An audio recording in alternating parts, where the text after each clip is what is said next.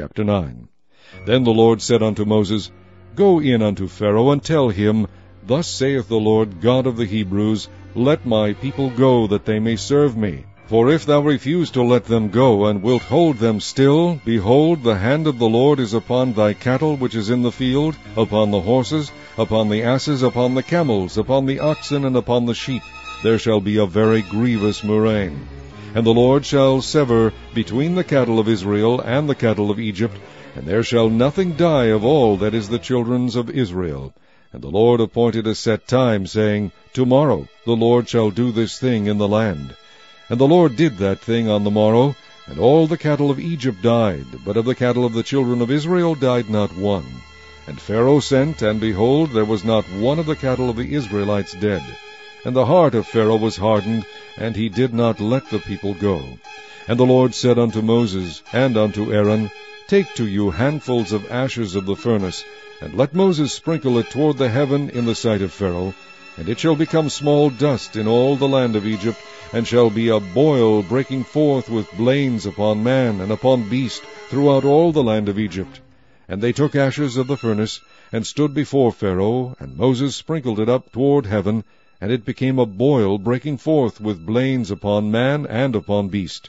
And the magicians could not stand before Moses because of the boils, for the boil was upon the magicians, and upon all the Egyptians.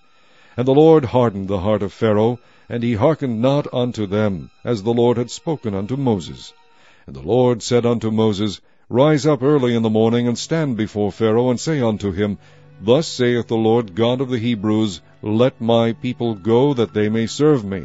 For I will at this time send all my plagues upon thine heart, and upon thy servants, and upon thy people, that thou mayest know that there is none like me in all the earth.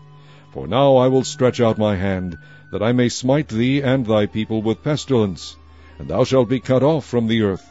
And in very deed for this cause have I raised thee up, for to shew in thee my power, and that my name may be declared throughout all the earth.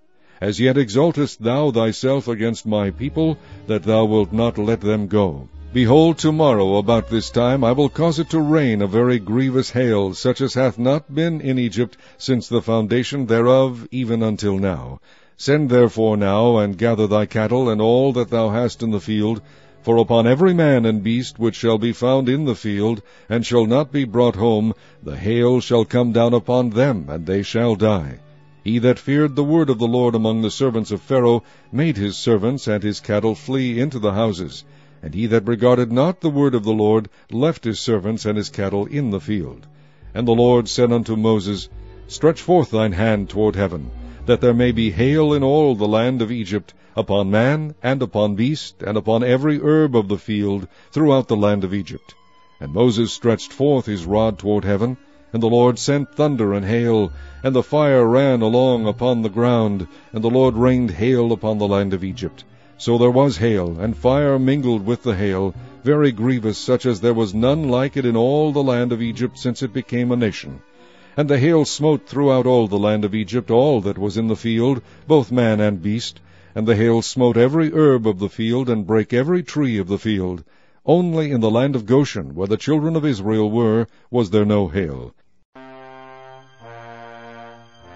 And Pharaoh sent and called for Moses and Aaron, and said unto them, I have sinned this time. The Lord is righteous, and I and my people are wicked. Entreat the Lord, for it is enough, that there be no more mighty thunderings and hail, and I will let you go, and ye shall stay no longer. And Moses said unto him, As soon as I am gone out of the city, I will spread abroad my hands unto the Lord, and the thunder shall cease, neither shall there be any more hail, that thou mayest know how that the earth is the Lord's. But as for thee and thy servants, I know that ye will not yet fear the Lord God. And the flax and the barley were smitten, for the barley was in the ear, and the flax was bolled. But the wheat and the rye were not smitten, for they were not grown up. And Moses went out of the city from Pharaoh, and spread abroad his hands unto the Lord. And the thunders and hail ceased, and the rain was not poured upon the earth, when Pharaoh saw that the rain and the hail and the thunders were ceased, he sinned yet more, and hardened his heart, he and his servants. And the heart of Pharaoh was hardened, neither would he let the children of Israel go, as the Lord had spoken by Moses.